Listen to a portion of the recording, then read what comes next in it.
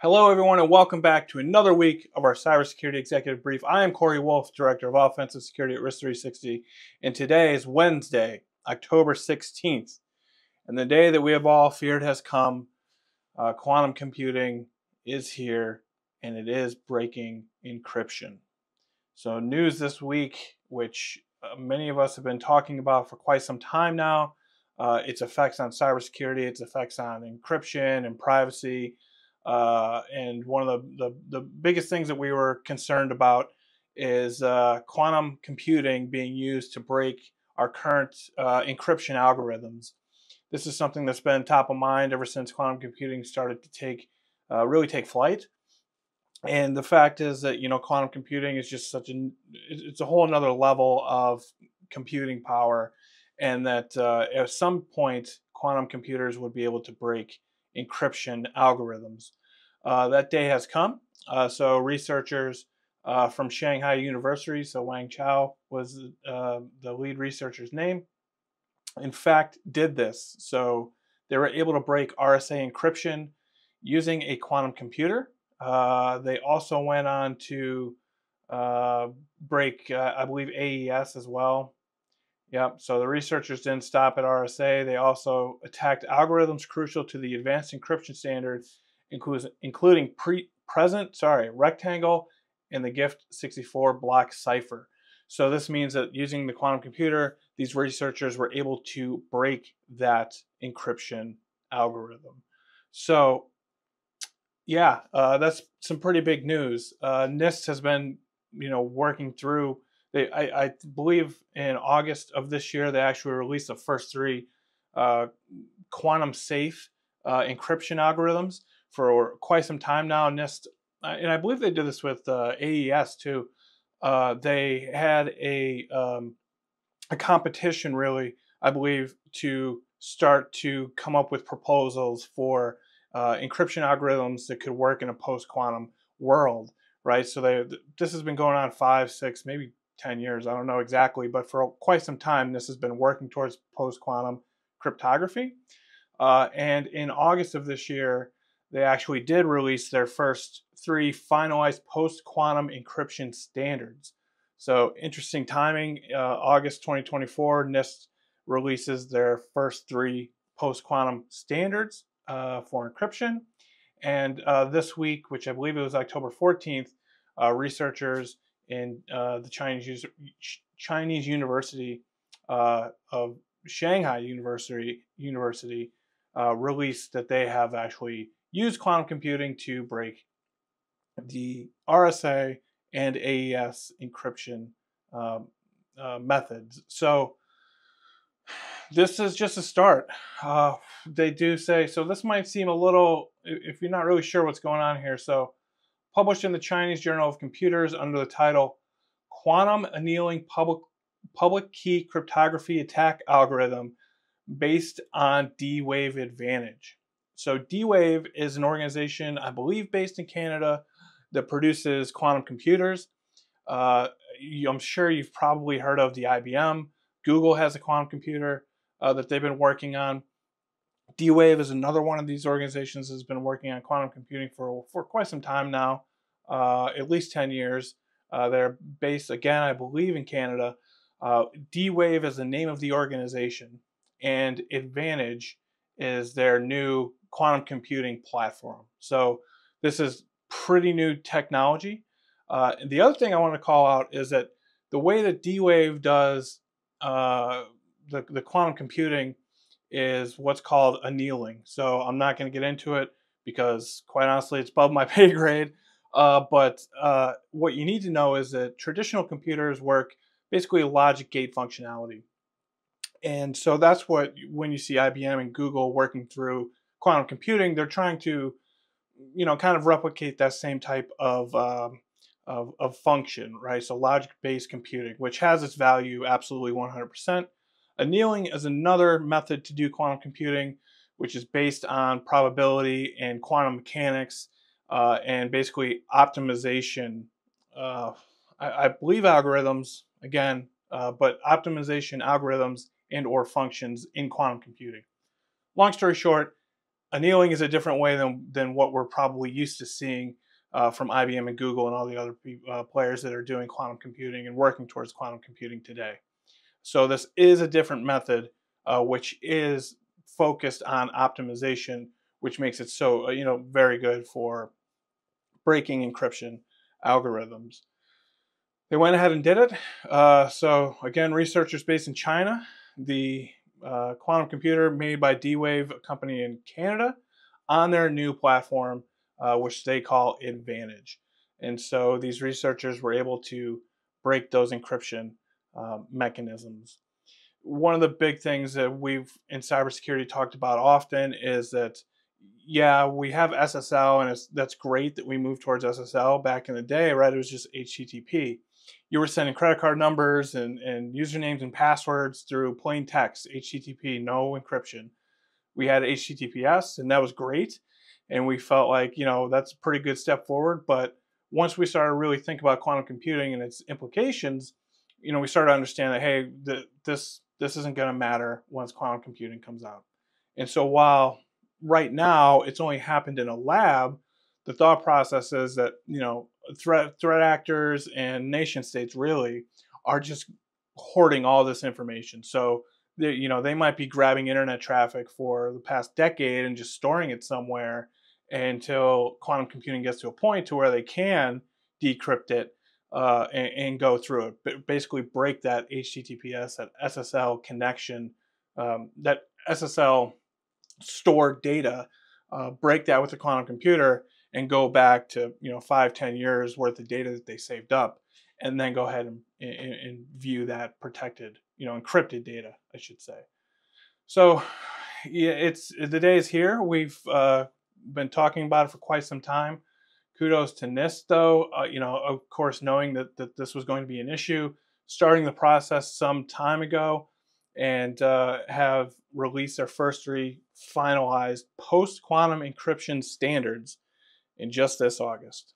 So the day is here. Quantum computing is making leaps and bounds. AI is making leaps and bounds. The future is now. One other thing that I want to touch on, which this this uh, came out probably about a week or so ago, uh, but Wired just wrote up a big uh, article on it, which has started to make the rounds. Uh, so I wanted to touch on this just a little bit is that there is some uh, new malware going around for air gap systems. So for those of you that don't know, air gap systems simply mean that they are not connected to the internet, right? And they're not connected to an internal network either, right? So they're not connected to a network in any way, right? Um, and so the most famous one of these, uh, where an air gap system was breached, is is uh, the operation called Stuxnet. If you're not familiar with Stuxnet, I highly suggest you read up on it. It's how U.S. and I believe Israeli, uh, you know, SIGINT agencies put a big dent in Iran's nuclear program. Uh, but air gap systems. So if you think, uh, you know, um, industrial plants, uh, critical infrastructure, they should all have air gap systems.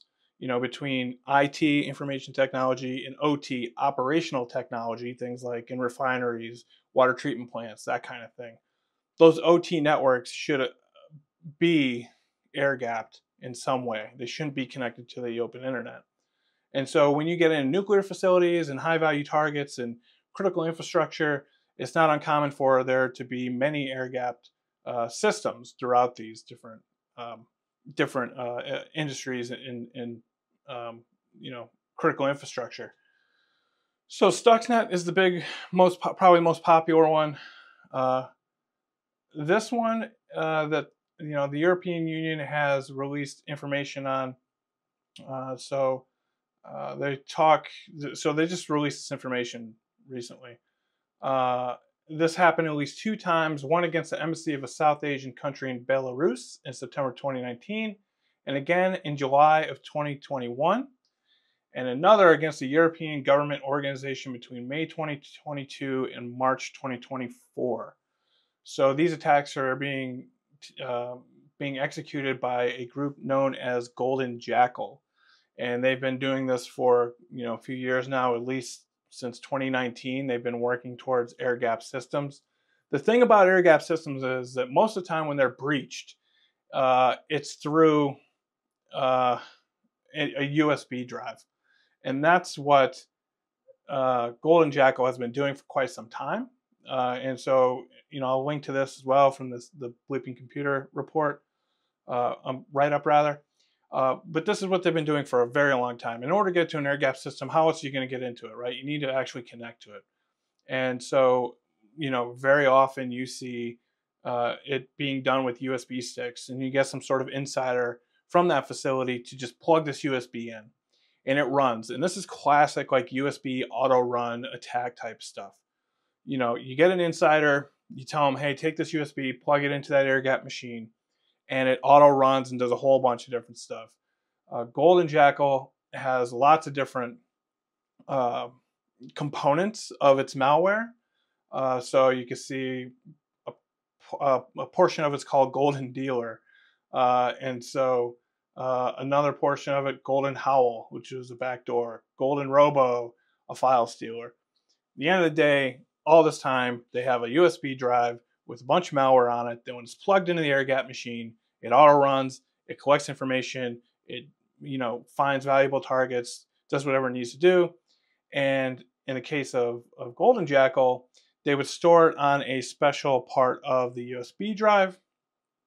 Maybe it's unpartitioned or something. I'm not really sure how you would. I guess it would be on. I don't know. Maybe they're just writing straight bytecode to it. But in one way or another, they would write this data to the USB drive uh, in, a, in an area of the USB drive that it isn't very easy to observe.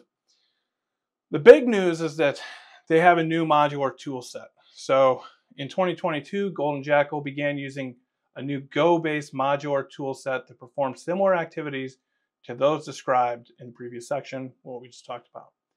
Uh, and this is a, a, good move on their part. Uh, so it, previously, many of their tool sets were built with Python.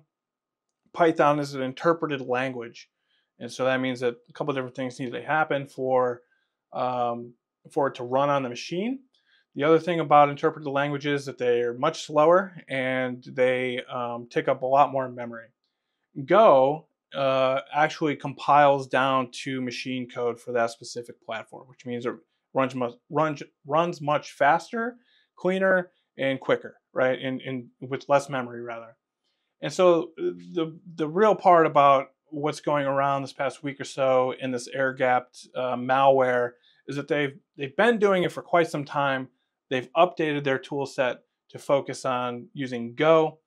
Uh, and then when you unplug the USB and you plug it into another internet connected device, it'll automatically take the information that it grabbed from that air gap machine and upload it. So in this case, they use Google Drive uh, to do that uh, piece of malware that they're calling GoldenDrive. So, you know, it's making the news, and that's that's great because it's creating awareness. People are starting to learn more about it, but this isn't anything new. What is new is their tool set, uh, but they've been doing it at least since 2019. Stuxnet, I don't even remember when that was. It was a long time ago. Uh, these types of activities have been going on forever. That USB auto run attack is something that we test all the time when we're doing physical penetration testing engagements, uh, and uh, it's no, it's nothing new. Uh, what is new is is the way is a piece of malware that they created to uh, to pull this information and send it off to their C2 servers. Google Drive, Google Drive, Microsoft OneDrive, SharePoint, all of those are great places to exfil data because they're always going to be allowed out. They're always going to be allowed outbound, right? What organization is not going to let you connect to SharePoint uh, or OneDrive or Google Drive? So that's it for this week. Uh, only two stories. I'll add all the, the posts or all the links to uh, everything that we talked about today. Quantum computing, jumping by leaps and bounds, as is AI. Uh, but uh, threat actors up to the same old tricks. Uh, I'm glad that it's getting attention. I'm not sure why it's making such a big deal right now. Uh, but these are classic attacks that ideally these critical infrastructure and air gapped systems should already be prepared for. You would hope. You would hope. Anyways, thanks again for joining me this week. I hope this was helpful. I hope you have a great rest of your week, and we will see you here next Wednesday. Speak soon.